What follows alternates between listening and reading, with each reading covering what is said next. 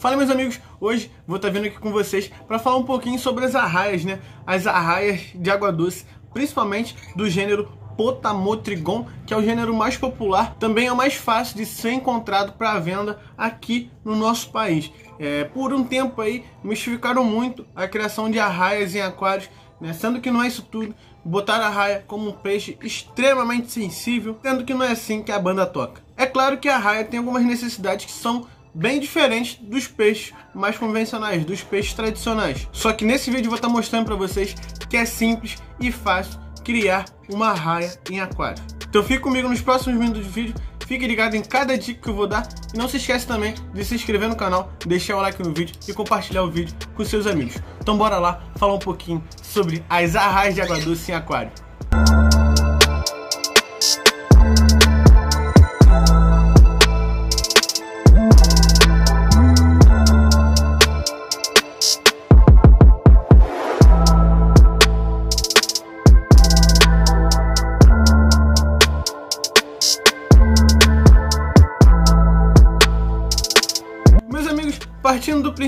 Na hora que vocês forem montar o aquário, pense antes qual fauna vocês vão querer é, ter nesse aquário. É muito importante antes da gente montar qualquer tipo de aquário, a gente pensar na fauna dele antes, principalmente se quisermos é, criar jumbos, né, ciclidos americanos, alguns primitivos, enfim. As medidas para esse tipo de aquário, para esse tipo de fauna, são extremamente importantes. Isso porque a litragem do aquário em si não vai influenciar é, se aquele aquário é ou não ideal para o peixe. Você pode ter um aquário de 800 litros de água, né? Só que esse aquário pode ser que não seja ideal para o seu peixe. Isso eu vou explicar agora para vocês. Na minha concepção, no meu ponto de vista, um aquário ideal para jumbos como arraias e aruanãs, por exemplo, que são peixes que ficam bem compridos, né, bem, bem parrudos dentro do aquário. É um aquário bem largo e comprido. Esquece a altura do aquário, deixa a altura padrão e no máximo aí 60 centímetros de altura e investe aí no comprimento do aquário e na largura dele principalmente. Isso porque as arraias elas precisam de ter um aquário largo para que elas possam ter uma área de nado mais livre para elas. Então, o aquário, quanto mais comprido e largo, principalmente, melhor.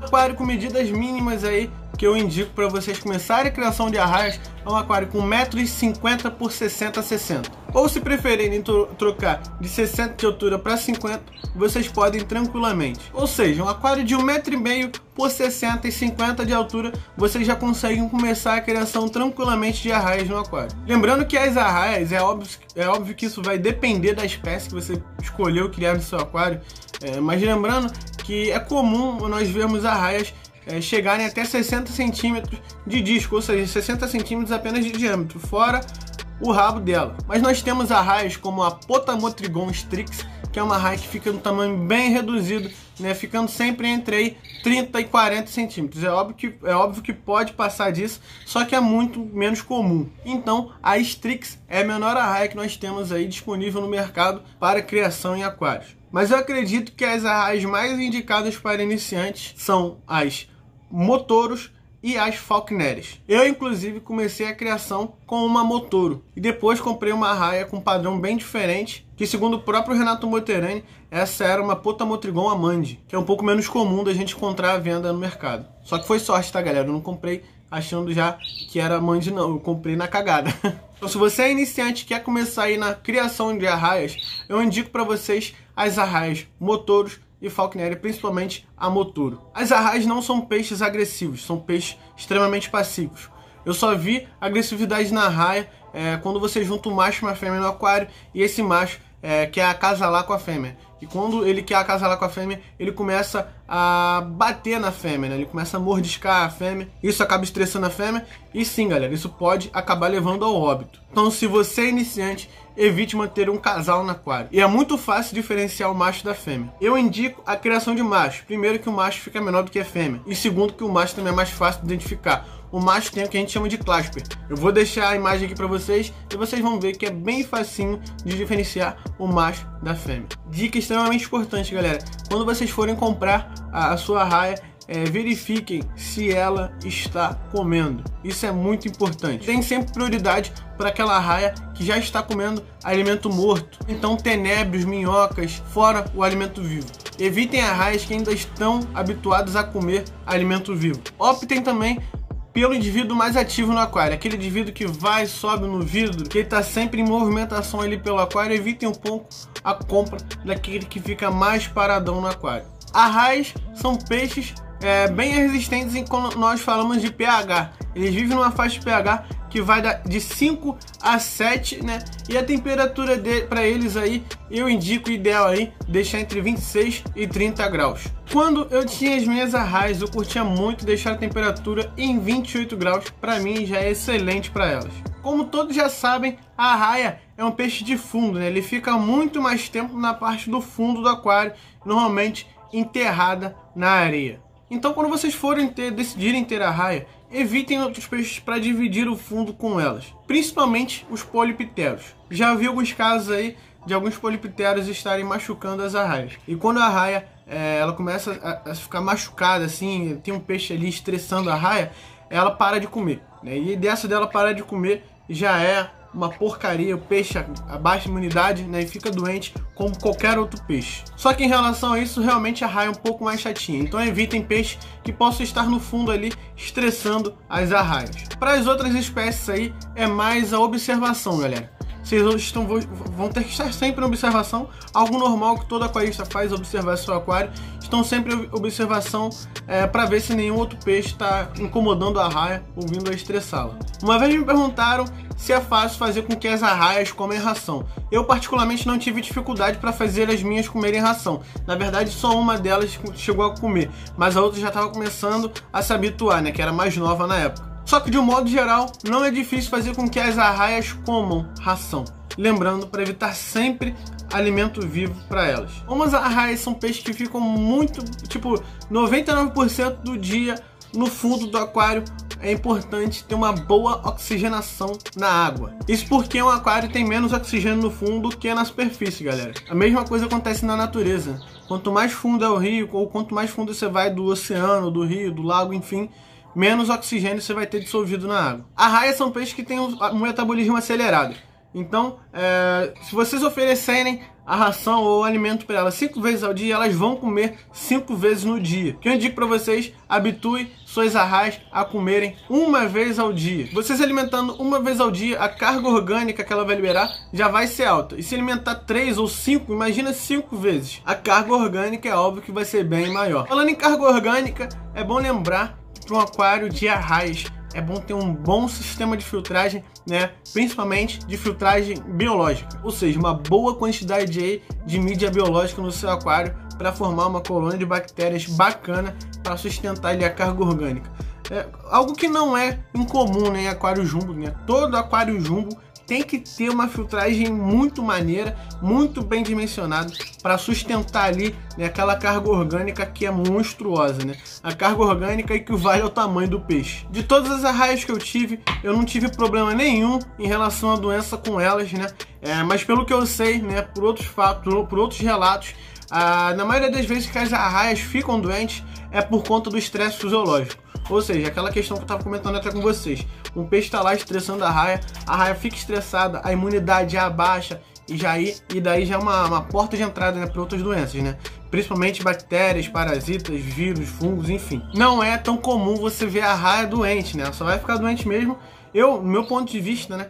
É, eu acho que ela vai ficar doente mesmo quando tiver algum peixe estressando a bichinha ali no aquário. Outra coisa que as pessoas acabam ficando com muito medo é porque a raia tem aquele ferrão, né? Nós costumamos chamar de ferrão. E sim, galera, aquele ferrão ele é venenoso, ele tem uma toxina ali, né? Não vai te matar, mas ele tem uma toxina ali que vai gerar muita dor se você for picado pela raia, ou melhor, ferroado. Mas isso é muito difícil de acontecer. Já aconteceu, já vi imagens desse tipo, né?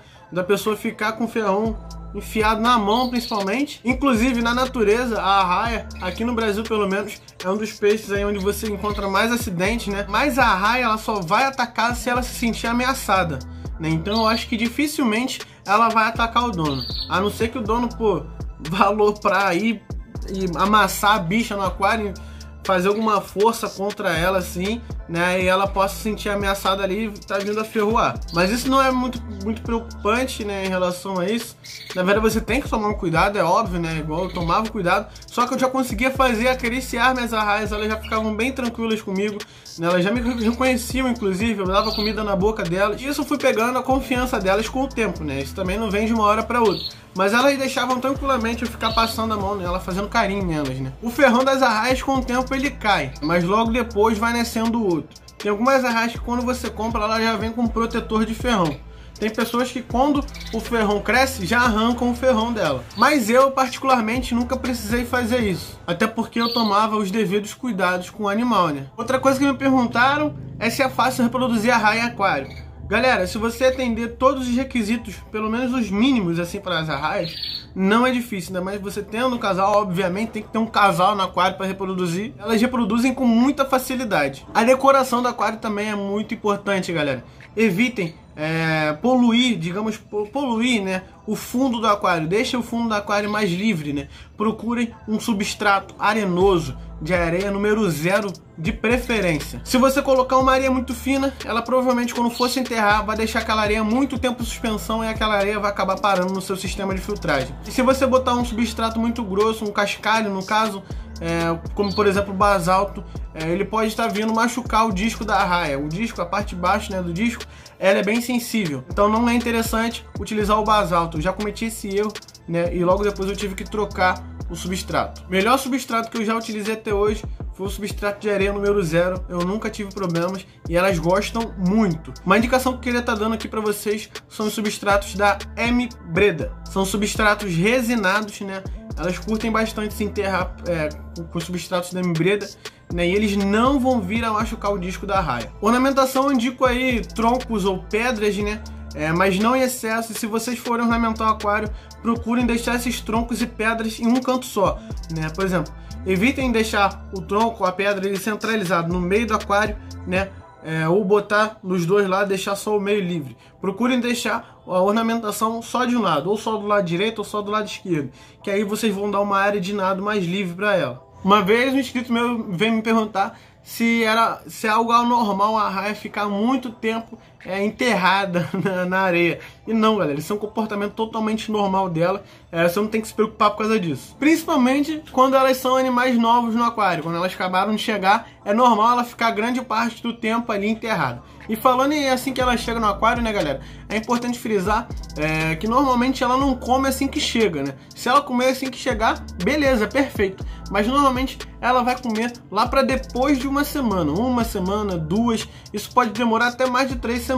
Mas é óbvio, você vai ficando em observação. Se ela demorar muito tempo para comer, aí já é algo anormal. E lembra sempre daquela dica: quando vocês forem na loja, observem se ela está comendo se ela tá, se ela mostra interesse por comida, enfim. É muito importante vocês é, comprarem uma raia saudável. E também para depois não comprar uma raia aí já com, com problemas e ter uma, uma, péssima experiência com o animal. Eu já vi muita gente comprando a raia, é, a raia não chega na casa do cliente, da pessoa, né, do aquarista. Ela não come e a pessoa simplesmente bota aquela fama nela, ah, o bicho é muito sensível e tal. Sendo que não é assim, galera. Então eu acho que para aumentar a taxa de sucesso aí na criação das arraias, eu acho que o fundamental é você ver se você está adquirindo um animal saudável. Não só das arraias, né, galera? Mas eu acho que é, para qualquer tipo de animal, você está indo adquirir um animal e ter certeza de que ele é saudável, a chance de você ter sucesso na criação dele vai ser mil vezes maior. E as arraias mais comuns que nós encontramos por aí são a Motoro, Falconeri,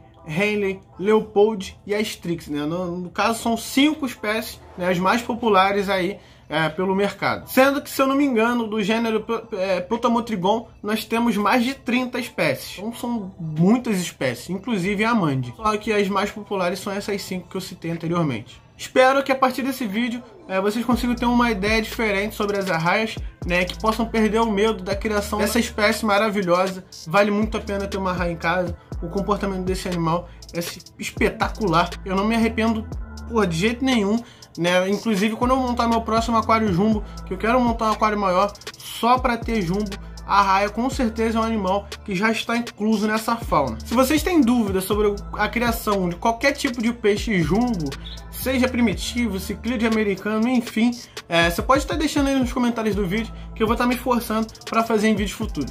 Lembrando que eu já comecei a fazer tipo um videozinho de ficha técnica, né? Eu tenho uma série já que é Vamos Falar de Espécies. Esse vídeo aqui, inclusive, vai estar entrando na Vamos Falar de Espécies. E eu já falei do primeiro jumbo, que foi o Oscar, né? O jumbo universal. Espero que vocês tenham curtido esse vídeo.